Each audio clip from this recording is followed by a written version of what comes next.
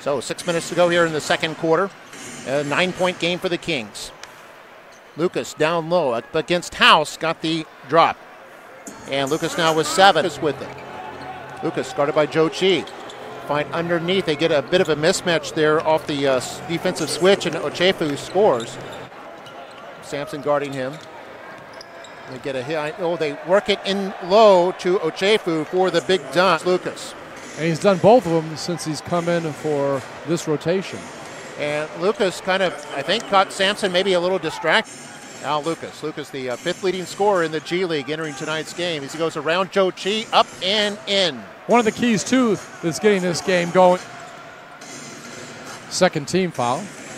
So Under five minutes. So Lucas from 15 feet got that over Joe Chi. Chris Walker about to check back in. Joe on top of Lucas, who's forced to kick it out to Reynolds, and Reynolds hit the three pointer. Absolutely right. It would have been uh, Kings basketball, and Rodriguez now with 10 points. In the lane is Ochefu, and Ochefu gets it in and scores all the way. Quick three pointer by the Kings is good, and that was Hearn. A three point effort by Rodriguez is missed. Stockton comes back down with it, and Williams, nice pass underneath to Hearn for two points, and it's a 5 0 lead now for Stockton. With it over here on the left side, guarded by Dimps. He'll find Caboclo underneath and tried a uh, pass along the baseline that gets stolen away by Williams. Hearn with the three pointer, got it up to right.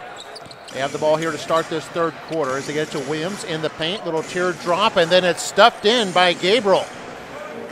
Rodriguez reverses his dribble. Oh, and a nice, uh, looked like a pass attempt that was blocked there by Demps. The Kings run the floor at the other end, and Ochefu finishes it off.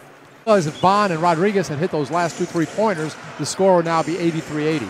Oh, goodness, yep. Vipers been trying to get a little bit of a run going all night, and Williams hits a three there. It's a pick from Gabriel. And then uh, pick and roll, and Gabriel goes in for the dunk. The Viper defender took a spill. That was Tucker.